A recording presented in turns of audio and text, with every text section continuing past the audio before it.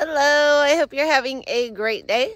So I have another florist delivery this morning. So I'm gonna just get some zinnias harvested and go around and harvest what I can and get that ready for them. I'll take pictures of the buckets and then hopefully I can get to these weeds today. We'll see.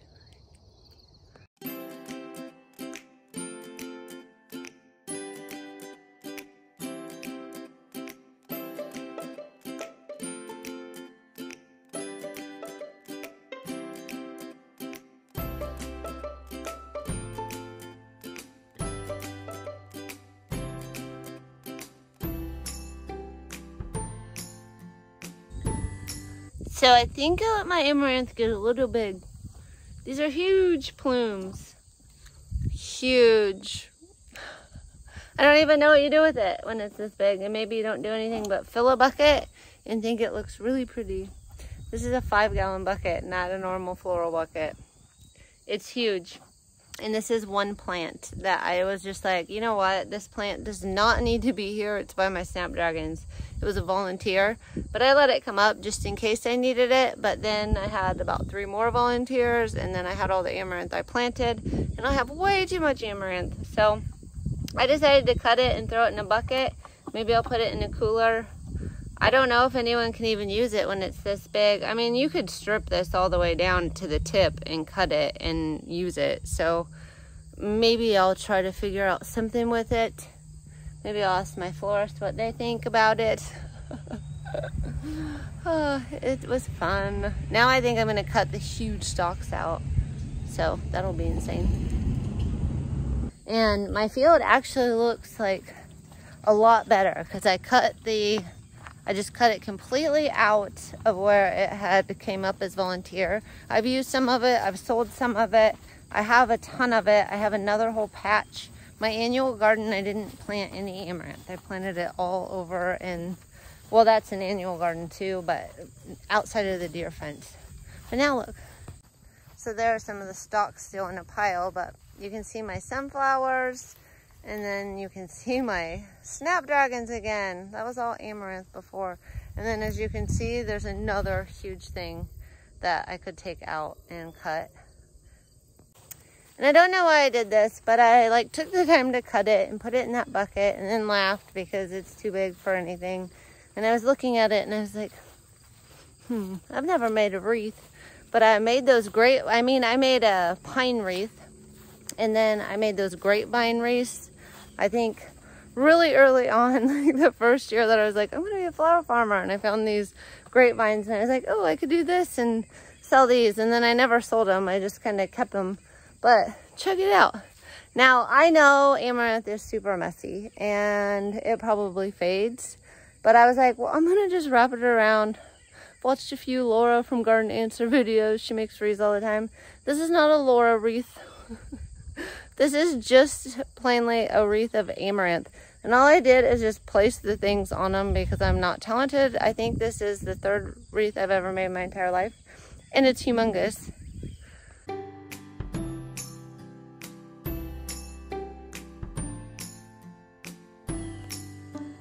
But for those crafty people out there, I do think you could use an amaranth wreath if it was like an outside, because I think it would be messy inside.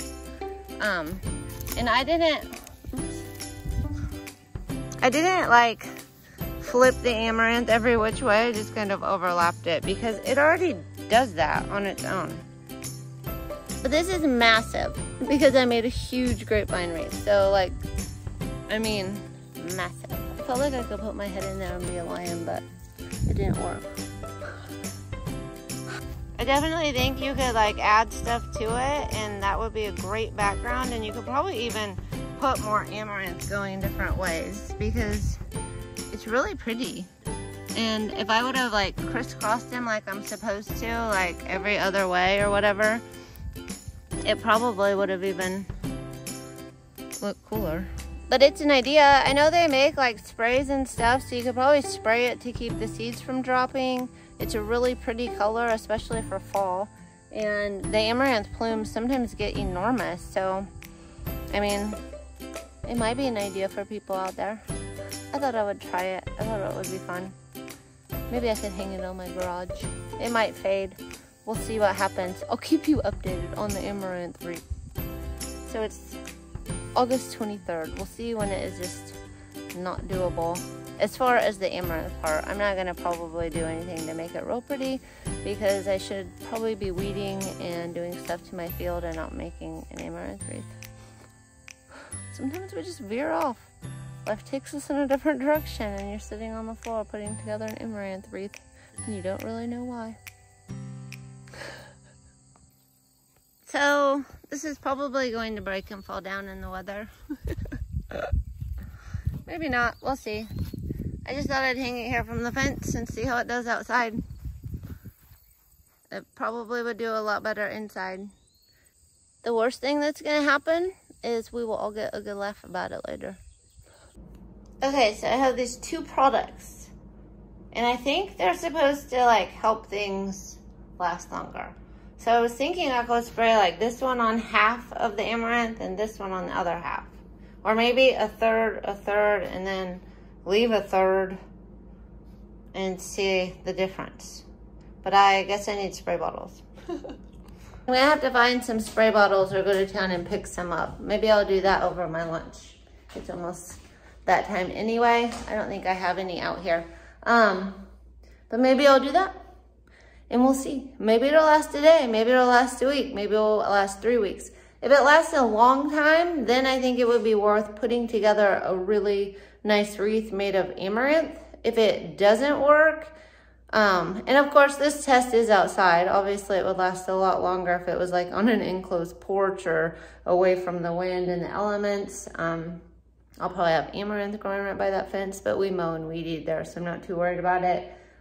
And again, I'm not gonna tell you I think that was pretty because I literally was like, okay, I'm just gonna do this real fast. And I just tied it all to my grapevine wreath. And then I don't think, I think if you took your time and alternated them and actually made it look nice, it would be very pretty. Um, at least on day one, it would be very pretty. I'm not sure how many days it will last outside. And it is in full sun. it probably won't last that long. It's probably gonna be like fire. But I should spray that stuff on it and at least test them and see which one I like better. At least with amaranth, then I would know. Um, maybe pine is different and all the different things. So I will look for some spray bottles and we'll give it a chance. It's not bad from far away at all.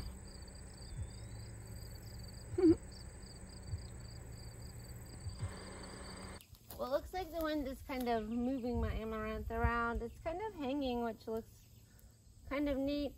Um, but anyway, I got this ribbon so I could tie it to the top of the wreath so that if the wind falls or anything happens, we know the top of the wreath is up here. So okay. And then I put Crowning Glory in one spray bottle. And I put the Wilt Stop in the other spray bottle. And I think I'm just to leave this top third. I'm just to leave it natural. And then I'm to spray Crowning Glory over here on the left side. Oh, but I haven't used this. So, just to spray it all down. I don't know how much of this stuff you're supposed to use. There we go. And then on this other side, I'm going to use Wilt Stop.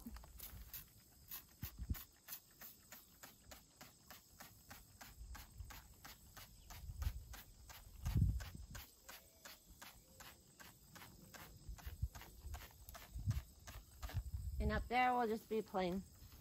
Okay, so we'll just see how this does. We'll see if one of them like holds it or if amaranth is even worth making into a wreath. I do like how it dangles down right here. So I know what you're thinking. I'm thinking it too. Like, hmm, it probably won't work. But you never know something. Sometimes you have to try something and see it with your own eyes. And then you just know. And maybe you don't try it again. Or maybe you try something different. Right now, I do like this part you could put stuff up here to make it prettier. Um, I think it would look really neat if you took your time. Like I said, I threw this together. It's not meant to be like this gorgeous like piece. It's just me testing to see what happens and to see what it looks like. In the end, I might just laugh and be like, oh, that was horrible. It might break off of that sprint, that string, and I'll have to get something tougher. So it's like, why don't you just get something tougher now? but I wanted it to just be a fast test. What would amaranth look like on a wreath? How would it act? And what do these two products do? Do they do anything at all to make it last longer or look better? And I think we're going to see all of those things. So I'm going to leave it here. It's going to get sun in the morning, like hot sun.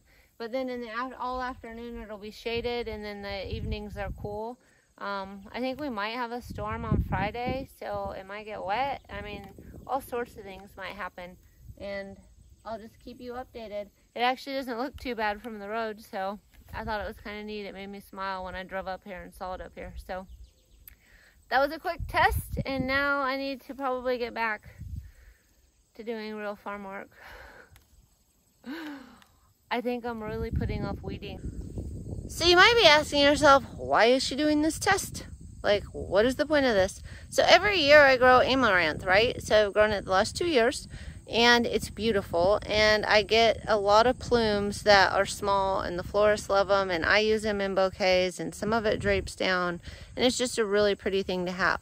But it kind of goes crazy and you end up with these huge plumes and you don't know what to do with them and you feel bad when you like cut this plant down or you cut these huge plumes off. You're like gosh I hate that all of this goes to waste because it's so pretty. So I thought well I wonder like that with like evergreen mixed in would be really pretty I don't know if you could keep it in a cooler and it would last until the Christmas season that might be pushing it but it also would look really good with some browns tucked in and stuff for Halloween and orange. Like the orange would really pop on that red color. So I'm just trying to come up with ways that I don't just have to throw all of these ginormous plumes of amaranth out. So that's why I thought I would test it. That's why it's a very fast and not that pretty test. But it will give me an idea. I don't really know. But we're to find out. Whew. It looks so much better. I lost a little bit of yarrow, but that's okay. This winter, I'll just clean out the holes and put more seed in. But I got all the grasses out of there for the most part. It looks like I missed some up here at the top, but it's getting better. Get the weeds out of my zinnias, the weeds out of my yarrow, down to where that green bag is down there anyway. I did leave the hollyhocks. They're pretty. And then my salvia is looking a little rough. I think it got too dry. I might take something and shear off the tops. It might come back. There's a lot of seeds. I might have a lot of salvia next year. But it always feels good to get a section done. So now I looked on beyond the pine trees and what I weeded before isn't too bad yet. Like it's a littler weeds, so it won't be as big of a job. So if I take from that bag down to the end where the pine trees where I did last time, I will hopefully get this all weeded. And then in front of these I can probably just mow and call it good. Fill in any empty holes with seed this winter um, and figure out what I'm going to put where the zinnias are. So it got kind of hot. I'm a little bit sweaty. I'm a mess.